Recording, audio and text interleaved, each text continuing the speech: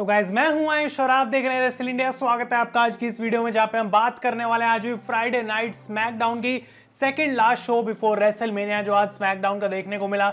एक बार फिर से रोमन रेंज और ब्रॉक लेसनर इस शो का मेन अट्रैक्शन थे, और बाकी सारा शो काफ़ी नॉर्मल था, उसके बारे में हम बात करने वाले हैं। लेकिन इससे पहले कि मैं एक्चुअली अपने रिव्यू के अंदर बढ़ूं, दो बड़ी न्यूज़ हैं जो कि आप लोगों को मैं देना चाहता हूँ। इंपॉर्टेंट न्यूज़ है आई नो डेफिनेटली आप लोग खुश होंगे सुन के। तो पहली न्यूज़ ये है कि कल यहाँ पे किचनर में होने वाला है डब्ल्यू का लाइव इवेंट जो कि मंडे नाइट रॉ के सुपरस्टार्स को फीचर करेगा Finn Balor Seth Rollins Kevin Owens Becky Lynch Rhea Ripley और भी कई सारे सुपरस्टार्स आ रहे हैं। और मैंने आपको बोला था कि मैं उसके अंदर जाने की कोशिश करने वाला हूँ, क्योंकि पहले जो इवेंट मैंने बुक किया था वो कैंसिल हो गया था एंड आई एम गोइंग और सबसे कमाल की बात यह है कि इस बार मेरे पास रिंग साइड टिकट्स हैं। और मुझे पता है कि आप लोग जो देख रहे हैं, आप सब लोगों की ड्रीम है। एक दिन एक डब्ल्यू डब्ल्यू इवेंट देखना, वो भी रिंग साइड बैठ के।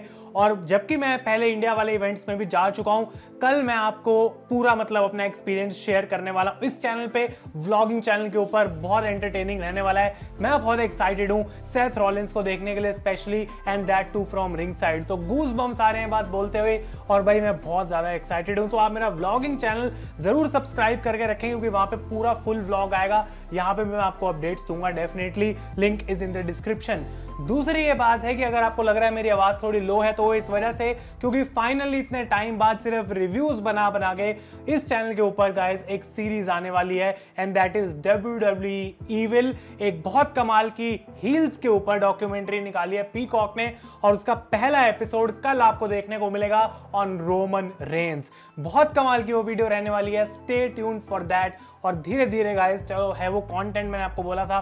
बैक ऑन ट्रैक आएगा। नो टाइम ज़्यादा ले रहा है जितना मतलब होना चाहिए उससे, लेकिन आई होप आप लोगों को चीज़ पसंद आएगी। अब और टाइम मैं वेस्ट करूँगा नहीं, लेकिन I am going to move into my SmackDown review और ब्रॉक लेसनर इसको स्टार्ट करते हैं, उनकी इंटरव्यू होती है बैक स्टेज और वो कहते हैं, मैं आज रोमन रेंज के लिए यहाँ पे आके वेट कर रहा हूँ। मुझे ये बात बोली गई है कि मैं रोमन को तब तक अटैक नहीं कर सकता, जब तक वो मुझे मतलब बिल्कुल प्रोवोक नहीं करता, यानी कि वो मुझे मजबूर नहीं करता उसे मारने के लिए। लेकिन वो कहते हैं, मैं आराम से रोमन रेंज की वेट करूँगा उसके लॉकर रूम में। मैं उसके लिए नई गाड़ी भी लेके आया हूँ, जिसका कलर है मेरा फेवरेट ब्लड रेड तो यहाँ पे पूरे शो में ब्रॉक लेसनर रोमन रेंस की वेट कर रहे थे और वो उनके पूरे लॉकर रूम को डिस्ट्रॉय कर देते हैं। एक एक चीज़ उठा के फेंकते हैं। और बीच में रोमन रेंज की तरफ़ से हमें एक प्रोमो सुनने को मिलता है, जहाँ पे वो कहते हैं किस तरीके से मैं पूरी न्यूयॉर्क की सिटी घूम रहा हूँ। मैंने काफ़ी अच्छा लंच करा एक स्टेक हाउस के अंदर और उसके बाद वो कहते हैं, मैं अब आने वाला हूँ मेडिसन स्क्वायर गार्डन की तरफ़, जहाँ मैं रुकूँगा और ब्रॉक लेसनर की वो मोमेंट याद करूँगा जब मैंने उसको ब्लीड करा था। और जब मैं पहुँचता हूँ अरीना में और ब्रॉक तब भी मेरे लॉकर रूम में तो उसी तरीके से उसको मैं फिर से ब्लीड कराऊँगा। तो बेटर ये है वो मेरा लॉकर रूम छोड़कर चला जाए।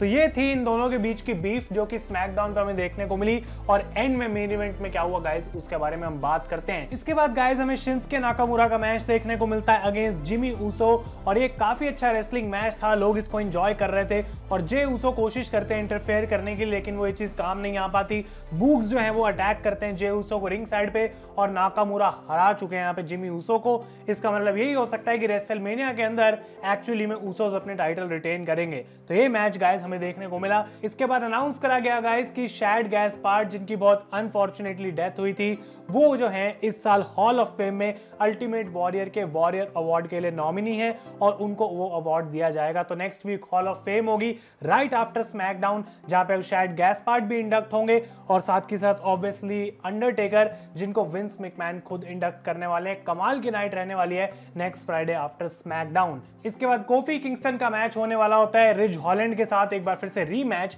लेकिन कोफी इंट्रोड्यूस करते हैं जेवियर वुड्स को जो कि एक इंजरी से डील होकर वापस आए हैं और उनका अब रिटर्न हमें देखने को मिला। तो कोफी की जगह एक्चुअली जेवियर वुड्स इस मैच को लड़ते हैं और वो रिज हॉलैंड को काफ़ी जल्दी हरा भी देते हैं। शेमस बुच और रिज हॉलैंड जो कि एक अच्छा ट्रियो लग रहा है, उनको स्ट्रॉन्ग काफ़ी दिखाया जा रहा है, लेकिन वो मैच हार चुके हैं। तो आई डोंट नो क्या प्लान है यहाँ पे कोफी किंगस्टन और जेवियर वुड्स के रेसलमीनिया के, लेकिन ये गाइस हमें आज देखने को मिला। इसके बाद रोंडा राउजी आती है रिंग के अंदर और ये जो प्रोमो आज उनकी तरफ़ से सुनने को मिला भाई, पूरे तरीके से एफ़ डब था। मतलब उन्होंने वॉच करा प्रोमो के अंदर स्मैकडाउन विमेंस चैंपियन को उन्होंने विमेन स्मैकडाउन चैंपियन बोला और वो कह रही है, वही फिर इसमें विमेंस क्यों डालते हैं? सिर्फ़ स्मैकडाउन चैंपियन होना चाहिए। और शार्लेट एक्चुअली में स्मैकडाउन पे थी नहीं, वो सामने आती है स्क्रीन के ऊपर और ये दोनों एक बार फिर से वही कि, भाई, मैं तेरे को टैप कराऊँगी, नहीं, मैं तेरे को टैप कराऊँगी। आई थिंक इस पूरे मैच के अंदर कोई इंटरेस्ट मेरा पर्सनली बन नहीं रहा है। I think Ronda Rousey Charlotte को हराने वाली है और उनकी फाइनली ये जो रेंज चल रही है इतने समय से, वो खत्म होने वाली है द स्मैकडाउन वुमेन्स चैंपियन लेकिन ये पूरे प्रोमो में क्राउड डेड था और मेरा इसके अंदर कोई इंटरेस्ट आया नहीं। और यहाँ पे रोंडा कहते हैं, मैं चौदह साल की थी जब फ़र्स्ट टाइम मेरी आर्म टूटी थी और मुझे अब काउंट भी नहीं है कि कितनी बार वैसा मेरे साथ हो चुका है। तो तुम्हारे लिए जबकि एक बहुत बड़ी बात होगी मुझे हराना, मेरे लिए एक आम सी बात है, तुम्हारे को एक्चुअली डिफीट करना है सेलमेनिया में। ये गाइस हमें देखने को मिला। इसके बाद एक और अजीब सी चीज़, क्योंकि रिकोशे एक चैंपियंस कंटेंडर मैच में लड़ रहे थे अगेंस्ट एंजल गार्जा और उम्बेरतो करियो की इंटरफेरेंस की वजह से गार्जा यहाँ पे जीत जाते हैं एक रोल अप से। तो रिकोशे कहते हैं, ऐसे में तुम्हें आज जाने नहीं दूँगा हुम्बेरतो तुम रिंग में आओ और तुम्हारे साथ मैं मैच लड़ना चाहता हूँ। तो ये भी एक चैंपियंस कंटेंडर मैच था और रिकोशे आउटसाइड द रिंग होते हैं। एंजल गार्जा यहाँ पे रिकोशे का पैर पकड़ लेते हैं और काउंट आउट से यहाँ पे जो है रिकोशे एक्चुअली इस मैच को हार गए। तो एंजल गार्जा और उम्बेरतो करियो, दोनों नंबर वन कंटेंडर्स बन चुके हैं फॉर द टाइटल और नेक्स्ट वीक गाइस हमें इंटर कॉन्टिनेंटल चैंपियनशिप का ये ट्रिपल थ्रेट मैच देखने को मिलेगा, जिसका मतलब ये भी है कि probably Ricochet will miss WrestleMania और अगले हफ़्ते स्मैकडाउन पे वो टाइटल मैच होगा। साथ के साथ डब्ल्यू ने ये भी अनाउंस कर दिया है कि Andre the Giant Memorial Battle Royal जो रेसलमेनिया में होती थी, वो अगले हफ़्ते स्मैकडाउन पे होगी और उसमें फिन बैलर और डेमियन प्रीस्ट हैं। यानी कि यूनाइटेड स्टेट्स चैंपियनशिप का मैच भी हमें शायद अब रेसलमेनिया में देखने को ना मिले। आई डोंट नो इसके बारे में मेरा क्या कहना है, क्या दोनों मिड कार्ड टाइटल्स रेसलमेनिया में फीचर ही नहीं होंगे। ये बहुत बेकार बात है। क्या आपको लगता है और मैच होगा बाद में रेसलमेनिया में? अपने ओपिनियंस मुझे कमेंट्स में बताएँ। इसके बाद बात करते हैं गाइस तो रिंग साइड पे ऑस्टिन थ्योरी आके जरा सा अटैक करते हैं पैट मैकेफी को। वो पीछे पीछे भागते हैं उनके, लेकिन ऑस्टिन थ्योरी चले जाते हैं मिस्टर मैकमैन के कमरे में और वापस आ रहते हैं पैट मैकेफी ऑब्वियसली अपनी कमेंट्री टेबल के ऊपर। ट्रिपल एच की मुझे पता है बहुत बड़ी ब्रेकिंग न्यूज़ इस समय चल रही है कि वो रेसलिंग से रिटायर हो गए हैं। लेकिन उसके बारे में गाइज़ मैं अलग से एक पूरी वीडियो में बात करूँगा। इसके बाद हमें फेटल फोर वे मैच देखने को मिलता है, जहाँ पे चार विमेन्स टीम के एक एक पार्टिसिपेंट लड़ रहा है। एक ठीक ठाक मैच था, कुछ कूल मोमेंट्स देखने को मिले, रिया, रिपली, साशा की तरफ़ से। और इनमें साशा बैंक हरा देती है, रिया, रिपली क्वीन जेलिना और शेना बेजलर को to win the match I think उनके सबसे ज़्यादा चांस है टू विन द टाइटल्स और साशा और नेओमी को काफ़ी स्ट्रॉन्ग भी दिखाया जा रहा है। और फाइनली शो के मेन इवेंट में रोमन रेंज अराइव होते हैं स्मैकडाउन में। काफ़ी लंबी चौड़ी उनकी एंट्रेंस वो रिंग में आके खड़े होते हैं। और वो बात करते हैं कि अब रॉक लेसनर अभी भी एक्चुअली मेरे लॉकर रूम में बैठे हैं। तो लॉकर रूम पूरा दिखाया जाता है और पूरा वो बुरे तरीके से डिस्ट्रॉयड है, लेकिन ब्रॉक अब वहाँ पे है नहीं। तो रोमन रेंज को चिंता हो रही है पॉल एमन डरे पड़े हैं कि भाई ब्रॉक लेसनर के साथ क्या होने वाला है। और ब्रॉक लेसनर फाइनली स्क्रीन पे आते हैं, उनके पास ये हथौड़ा टाइप कुछ है और वो रोमन रेंज की गाड़ी बुरे तरीके से एक बार फिर से तोड़ देते हैं। सेकंड वीक इन रो शायद ब्रॉक खुश नहीं थे कि मैं रोमन के लिए गाड़ी लाया, वो उसमें क्यों नहीं आ रहा भाई? तो शायद ब्रॉक को उस बात से कुंदक थी, लेकिन रोमन कहते हैं माइक लेके ब्रॉक की मीनिया में कोई वेपन अलाउड नहीं होगा। तो ब्रॉक कहते हैं रोमन तुम्हारी बात ठीक है।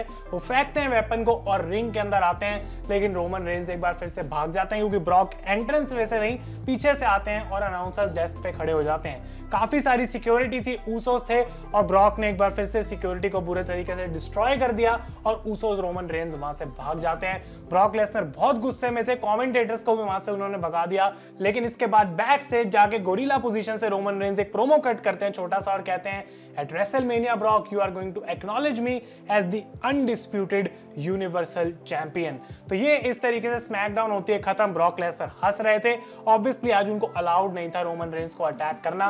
ये दोनों बंदे रॉ में भी आएँगे आई थिंक स्मैकडाउन में भी आएँगे। तो कुछ ना कुछ WWE के पास अभी और बचा है शायद, जो इनके बीच में वो दिखाना चाहते हैं। अगले हफ़्ते की रॉ और स्मैकडाउन शायद सुपर शो टाइप होगी।